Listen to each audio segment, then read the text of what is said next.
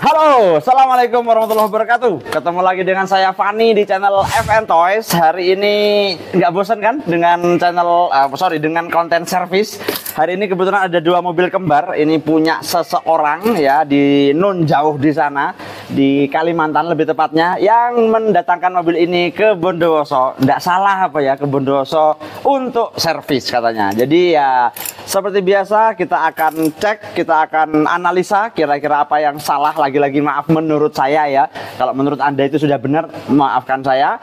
Ya, kita cek saja seperti apa dan kemudian kita perbaiki dan langsung rantes setelah selesai. Oke. Okay.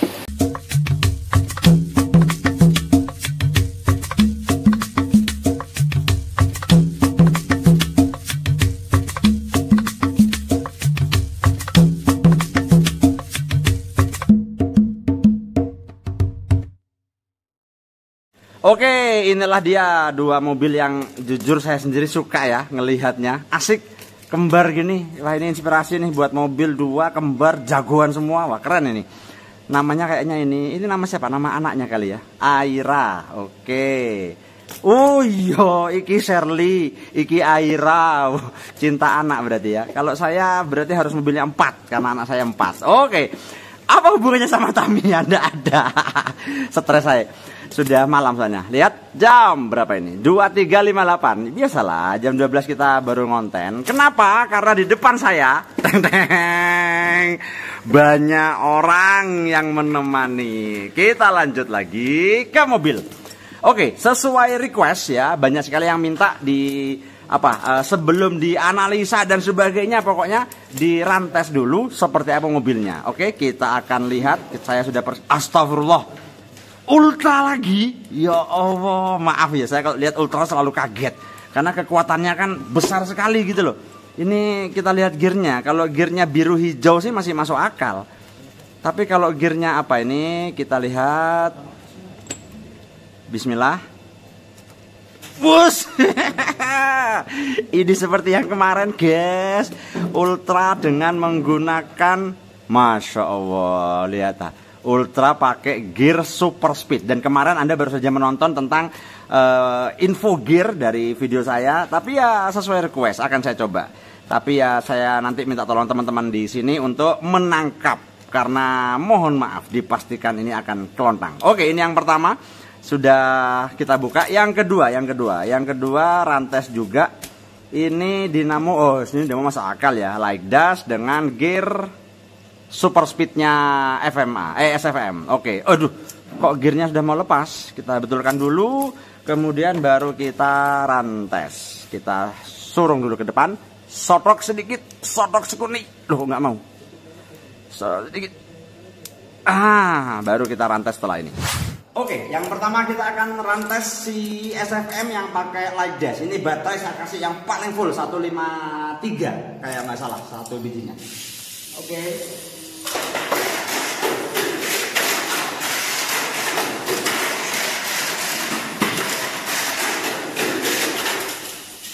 Sudah pelan kontang luar biasa.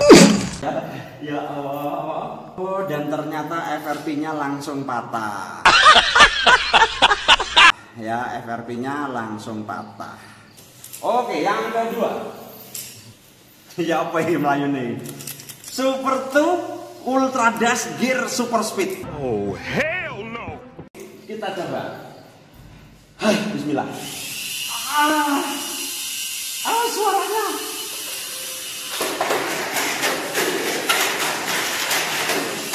Aduh, aduh. Aduh. Aduh.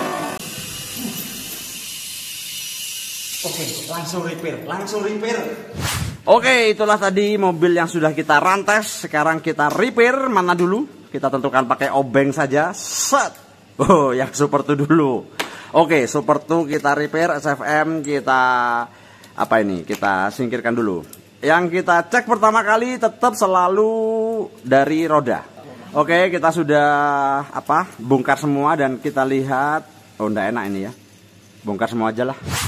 Oke, setelah saya bongkar ternyata ya mohon maaf ini persis seperti kasus uh, video gear yang saya share sebelumnya. Yaitu kenapa Super tuh kok pakai orin nah ini menurut saya ndak pas jadi oke okay, saya ganti saja saya ndak tahu teori dia apa tapi kok kenapa Super tuh pakai orin ini nggak pas mendingan saya ganti dengan pink ini saya ganti dengan pink. Kalau gear itu pakai super seat pentetap. Karena ini katanya salah beli atau gimana lah. Karena kelasnya di sana sebetulnya kelas tune series. Jadi ini akan saya pasang torque tune. Uh, kemudian gearnya tetap gear yang super speed. Sekarang kita cek uh, rodanya saja. Kita lihat ternyata yang kanan tidak bagus, yang kiri juga tidak bagus. Ini berarti ban di repair juga. Yang belakang sama tidak rata jadi kita repair ban depan dan belakang ini yang pertama terus yang kedua dari depan dari depan ini tanpa spacer sih oke saya cocok tanpa spacer tapi kalau pakai super X di bawah ini saya belum pernah coba ya saya bilang belum pernah coba karena menurut saya tidak tahu ya saya belum pernah coba karena tidak asik gitu. jadi jadi dia kalau mau lompat itu nempelnya tidak jelas nempel kanan dulu kiri dulu tengah dulu karena Super X sendiri kan bentuknya begini. Jadi ya karena yang punya sudah pasrah ke saya, mau diapakan aja terserah yang penting enak, ini otomatis saya ganti dengan stick. Pertama, kalau yang ini tidak perlu diganti, saya cuma repair bagian ininya saja, mungkin perlu dilem, diserati. Nah, ini secara regulasi sebetulnya tidak boleh ya. Tidak boleh, tapi kalau sudah begini ya sudah saya lanjutkan saja. Dan ini juga kurang tinggi, tiang AO, nanti saya ganti tiang AO, Kemudian seperti biasa juga, kenapa yang depan malah lebih berat? Harusnya yang belakang yang berat, yang depan yang ringan. Tapi kalau like das, eh kalau sorry, seri tune, kalau saya ya jelas tidak pakai galon.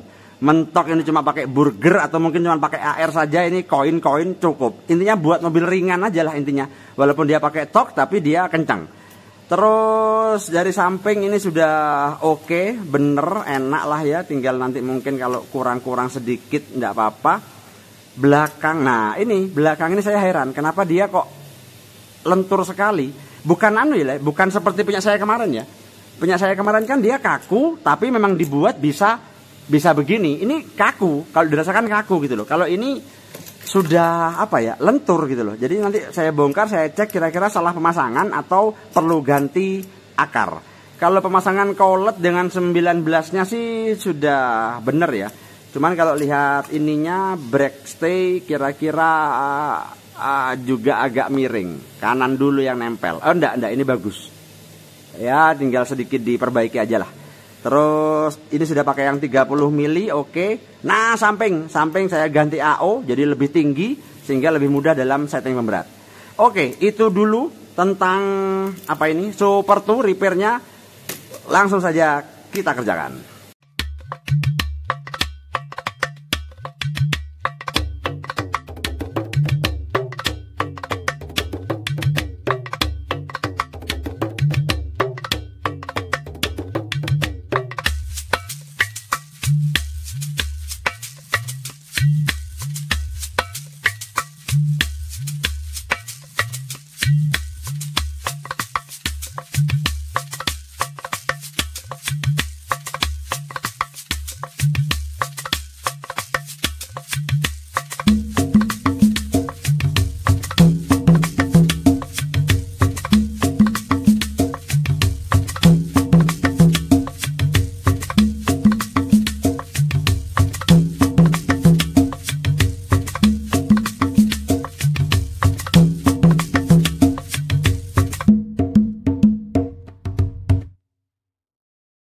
Oke, mobil sudah selesai. Jadi tiang AO saya ganti untuk yang samping, terus pemberatnya pakai AR yang bawah saja, depannya koin sudah saya ganti AO juga.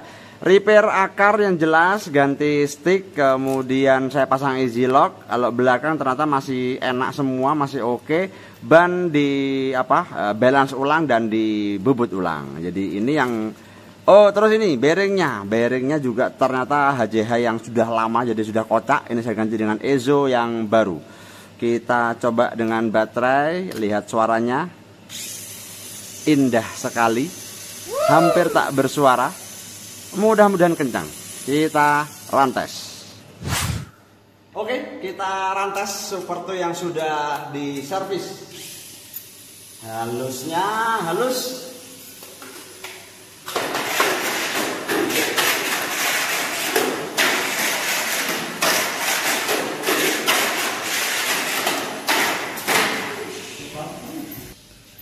kok terlalu ringan ya jadi kayaknya nambah pemberat saja Oke, pemberat samping sudah saya tambahi satu koin.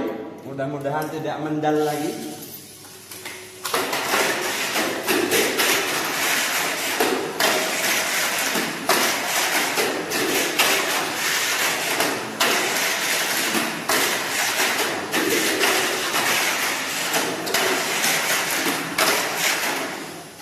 Mantap, tiga lap dengan sempurna dan Gimana? Bahagia? Saya aja yang nyeting bahagia sekali. Lihat mobil larinya enak, apalagi kencang juga. Ya, istimewa lah, insya Allah siap balap. Oke, sekarang lanjut ke sasis yang kedua, yaitu SFM. Kita ketemu di nah, sekarang aja sekalian ya. Kita langsung cari tahu apa kesalahannya dan langsung kita repair bersama-sama. Oke, ini adalah SFM-nya. Wah, saya kasihan ngelihatnya kasihan. Saya sudah siapkan dinamo Cun seriesnya torque Cun ya untuk dinamo depan.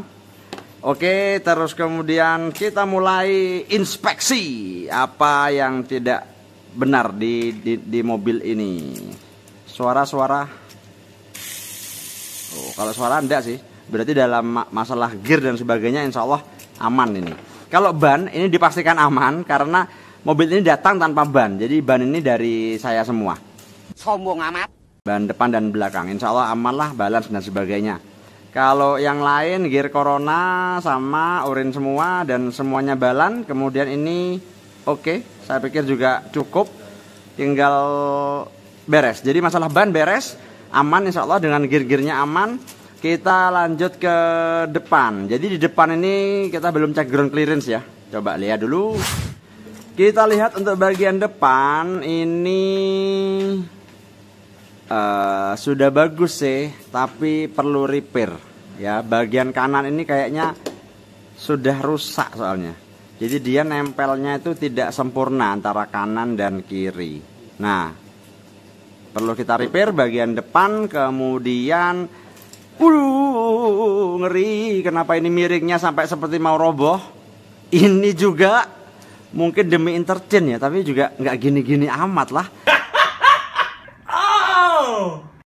Ini sudah AO, sudah oke. Kemudian seperti biasa, kenapa orang-orang suka pendek ya? Ini nanti ganti AO juga. Kalau posisi ini nanti saya cek kalau memang perlu diganti diganti karena tidak selamanya yang stay atas ini enak Kemudian yang belakang undergut kita lihat dia oke, okay, sudah bagus.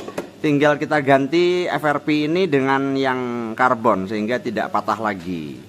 Uh, sekilas inspeksinya, oh ini, oh ini nggak masalah lah, biar orangnya sendiri yang ganti. Ini sudah miring, posisi apa ini rollernya sudah miring, lancar sih tapi miring. Ini sepertinya pakai bearing yang replika. Oke, okay, itu saja. Yang lainnya sih baik-baik saja. Ini baik ini yang perlu di repair dan seterusnya. Pemberat seperti biasa nanti kita rubah-rubah karena ini terlalu berat kalau untuk Jun series. Oke langsung saja kita kerjakan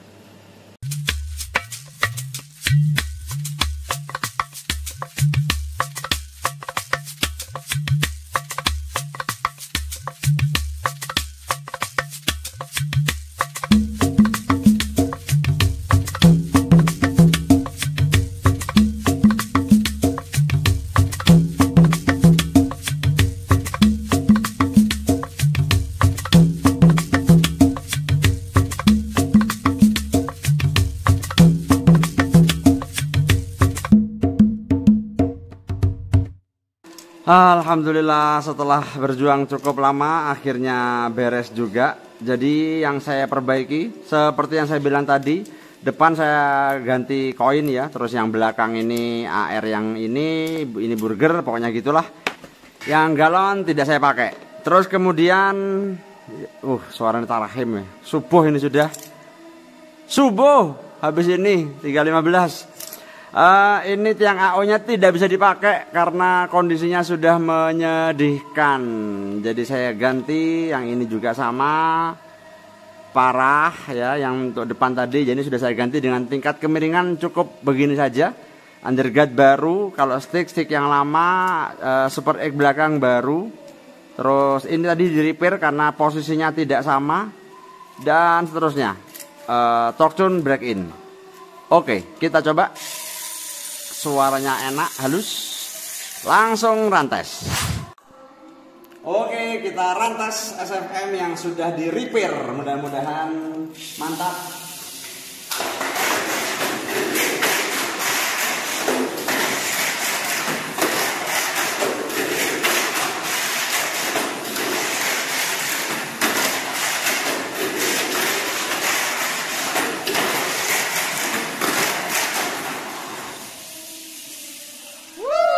Mantap sekali.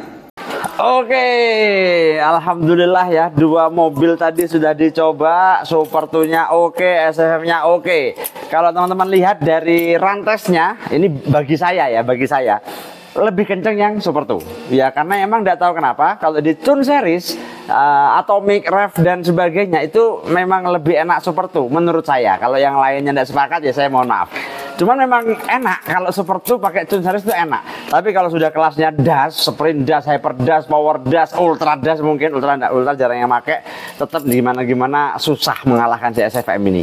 Tapi intinya dua mobil sudah berhasil di repair, berhasil lari dengan enak, berhasil finish juga dengan enak. Berarti beres urusan saya hari ini. Ini sudah jam 3 lebih 20 menit. Sudah saatnya saya tidur sampai menunggu subuh dan jangan lupa sholat lima waktu sampai ketemu di channel-channel sorry, di video-video berikutnya yang insya Allah tidak kalah menarik. Terima kasih. Assalamualaikum warahmatullahi wabarakatuh. Ayo mulai. Mulai, mulai, mulai. Ibu.